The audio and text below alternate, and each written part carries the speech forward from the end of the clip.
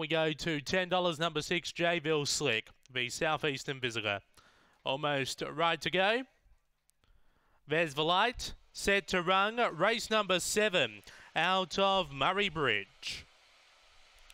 Away, Mo Slater was only fairly away. There's Speak from Orlinga Road, who finds the front, is clear by a length and a half. Mo Slater, though, moves up boldly now. Then we go back to High Octane with Orlinga Lily, butter up again. Fingers Flash and Jayville Slick turning Mo Slater ran wide. High Octane rails through on the inside. High Octane takes over and gets up to beat Mo Slater. Third Fingers Flash, fourth Orlinga Lily. Then we go back to butter up again, Jayville Slick and Orlinga Rogue, the last one in.